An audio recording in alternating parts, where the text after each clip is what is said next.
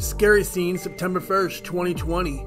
Aroldis Chapman throws the ball over the head of Mike Brosseau. He'd go on to strike out, but benches would clear, and I assure you Mike Brosseau never forgot about that moment. Fast forward to Game 5, ALDS Yankees Rays. It's the eighth inning, and we're going to break down Brosseau's revenge at bat.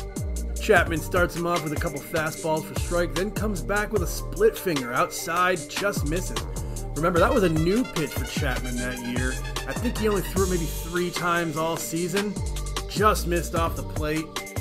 He's also got a slider in his repertoire, but what's he going to go with here? Looks like a high fastball, 99 miles per hour. Missed it out of the zone. That takes it to 2 2. Rays looking on, Yankees looking on. It's likely the next run wins this series. Sanchez set up inside, and it's a slider fouled away. So, sixth pitch of the at bat, Sanchez calls for the fastball inside. Now, at this point, Brosseau's seen all three of Chapman's pitches. And this time he hits him with another fastball, but he misses away and it's fouled off again. Love to know what Chapman was thinking here. Seventh pitch of the at bat. Calls for the fastball inside again. If he can hit it, it's over. But he misses just inside. You look at the replays, I assure you that was off the plate, and it's definitely a full count.